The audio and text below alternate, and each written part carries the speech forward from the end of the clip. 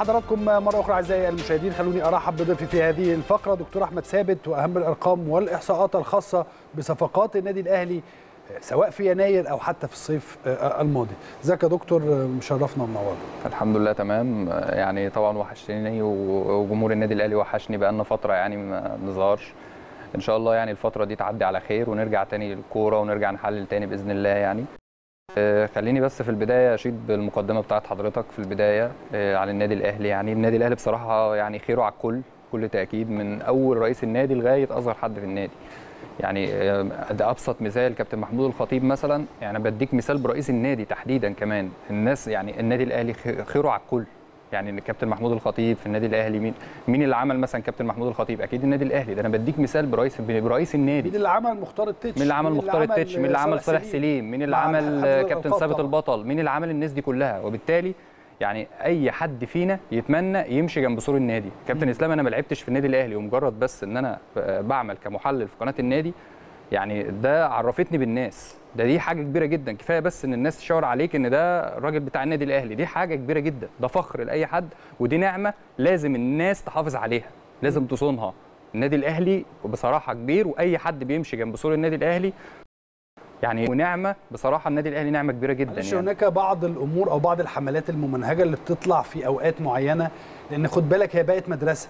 أوه. والله بجد أنا ما يعني المفروض كنت أقول الكلام ده برضو في المقدمة ولكن هي مدرسة. في مدرسة جديدة ظهرت ان هي معناها إيه؟ إن أنا أطلع أخبط في النادي الأهلي خلال فترة معينة. بعد كده البرامج هتجري عليا. آه. بعد كده هبقى محتاج إن أنا أو هقدر إن أنا أقول لهم إن أنا عايز في في الحلقة.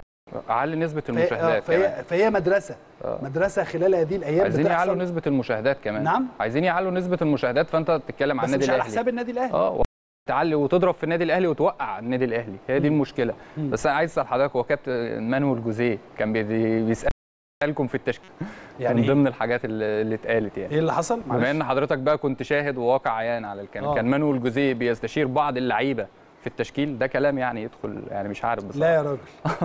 مانويل جوزيه. آه يعني أنا لما عاوز ألعب أقول له النبي يا مانويل أنا عايز ألعب.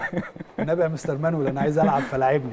يعني كلام بصراحة يعني بيتقال على النادي لا، الأهلي بس في خلي بالك كلام غير منطقي. آه. يعني ما ينفعش أساسا مع شخصية مثل زي مانويل جوزيه إن آه. انت تعمل حاجة زي دي. إذا كان إحنا ما كناش إحنا أنت بنبقى عارفين التشكيل بس مش عارفينه. آه. يعني بتقعد في المحاضرة وأنا أنا شاهد على هذا ال- الوقت يعني. كنا بنقعد في المحاضرة إحنا عارفين مين التشكيل اللي هيلعب بالمناسبة. آه. عارفين مين اللي هيلعب back right ومين اللي هيلعب back left وكل حاجة. بتقعد في المحاضرة بتبقى مش عارفها مش عارف أقولها إزاي ولكن بتبقى مش عارف هتلعب ولا مش هتلعب. آه، صح. فاهم؟ آه. هو شخصية كمان مانويل جوزيه آه. كان بيتقال له حط مين اللي يلعب ومين اللي ما يلعبش. طبعا ده كلام يعني كلام غير يعني منطقي شخصيتين يعني. أقوى شخصيتين من وجهة نظري يعني كمان دخلوا النادي الأهلي كمدربين. اجانب أنا شايف مانويل جوزيه وفايلر الاثنين دول شخصياتهم قوية جدا آه. من وجهة نظري يعني. ما فيش حد يقدر يقول لهم لا تشكيل ولا صعب قوي في النادي الأهلي الكلام ده يا جماعة. ممكن لا. يحصل في أي أندية بقول ثانية لك إيه وأنا آسف إن أنا بقول هذا الموضوع يعني ما أعرفش إن أنا أقوله أو ما أقولوش. هو حسني مين اللي مشاه من النادي الأهلي؟ كابتن ما- ال- لجنة الكورة لما اجتمعت كان فيها كابتن محمود الخطيب لا بعيدا آه. عن إن فيها مين لكن أنا أقصد إن مانويل جوزيه مانويل جوزيه آه اتخذ القرار فني طبعا أسامة حسني يمشي من النادي آه. الأهلي والقرار طلع لجنه الكورة نفس اللي بيحصل دلوقتي ده ده يعني ده ده, المنهج. ده المنهج بتاع النادي الأهلي والنادي الأهلي زي ما بنقول دايما مؤسسة وقواعد وبتمشي على الكل آه. والرأي الأول في الآخر طبعا يعني المدير الفني. المدير آه. الفني بيدي القرار للجنة الكورة أو اللجنة الموجودة حاليا بتجتمع. خلاص يا جماعة إحنا موافقين على كده خلاص. ده رأي المدير الفني وهو اللي مكمل. وعلى فكرة ده مشروع بنسميه مشروع دايما في كرة القدم إن يبقى عندك مدير فني يقعد معاك سنة أو سنتين وسنتين ثلاثة ويحط مشروع ويبني فرقة ده اللي بيعمله النادي الأهلي دلوقتي. آه. هقول لحضرتك على حاجة. سر نجاح سان داونز مثلا في الفترة في الفترة الأخيرة مع موسيماني إن هو موجود من 2012 مظبوط. سان داونز ما كانش أصلا موجود على الخريطة يعني يعتبر. آه. بدأ يطلع من 2001 بعد كده جه موسيماني عملهم. ليه؟ الاستقرار الفني والإداري ده اللي بيساعد أي فرقة. كذلك سر نجاح النادي الأهلي إيه؟ دايما كذا عامل بصراحة. أول حاجة الإدارة. اداره سواء بقى بمختلف في الإدارات اللي جت في النادي الأهلي الاستقرار الإداري الموجود. ما عمركش تسمع عن مشاكل موجودة في الإدارة في النادي الأهلي؟ دي رقم واحد. رقم اتنين دايما النادي الأهلي لا بيثق. في مشاكل وفي اختلافات في وجهات النظر. طبعا بس بيبقى وفي- الاختلافات جوه النادي. برافو عليك هو ده. ما ينفعش تطلع. لو أنا مثلا عايز أنتقد النادي الأهلي في حاجة ما ينفعش أطلع. يا جماعة كذا كذا. ما ينفعش. لازم جوه البيت. عايز تنتقد تنتقد جوه البيت. وهناك فارق كبير جدا ما بين الاختلاف والخلاف. طبعا. خلي بالك. من الممكن جدا أن يكون اختلافات وجهات النظر على أحمد ثابت مثلا. آه. ما بين آه، المشرف على الكورة ولجنة التخطيط وما بين المدير الفني. آه. ولكن في النهاية كمؤسسة كمؤسسة مؤسسة النادي الأهلي إيه اللي بيحصل؟ آه. رأي المدير الفني هو اللي بيمشي. طبعا.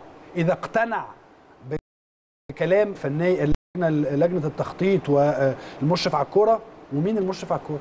آه. مين اللي مشرف على الكورة؟ بلاش عشان ما, ما, يبقاش طبعا. بنتكلم على كابتن خطيب. هو كانت مين قبل كده. كابتن حسن حمدي كابتن خطيب. كابتن طارق سليم.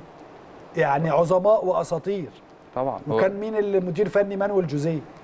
وعندما قرر مانويل جوزيه إن آه، آه، فلان يمشي آه، خلاص. تم مناقشته في الموضوع. هو شاف من الناحية الفنية إن فلان ده لازم يمشي مشي. وأي إدارة بيبقى ليها أخطاء. ده طبيعي. أي واحد في الدنيا بيبقى ليه أخطاء. آه، ما ينفعش طبيعي. طبعاً. آه. مش مش يعني الدنيا مش مش إحنا مش لما بيبقى في أخطاء بنقولها.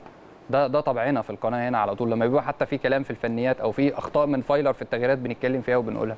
بس في نفس الوقت بنراعي حتى هنا في القناة ما ينفعش مثلا يعني مثلا يبقى عندنا ماتش سان داونز يوم السبت وإحنا بنلعب يوم الثلاث مع المقصه ونطلع نقول في القناة إيه؟ ده فايلر مثلا مش عارف إيه في التغييرات. اللعيب الفلاني وحش. مش ما ينفعش. أنت كده بتوقع الفرقة. أنت دورك هنا في القناة إن أنت آه تحافظ تقول يا جماعة والله كان في بعض السلبيات بس في نفس الوقت إحنا علينا الدعم. ليه؟ لأن أنت عندك ماتش يوم السبت لازم كلنا لازم نحافظ على استقرار الفرقة. بعد كده في نهاية الموسم تعالى بقى نحاسب بالورقة والقلم.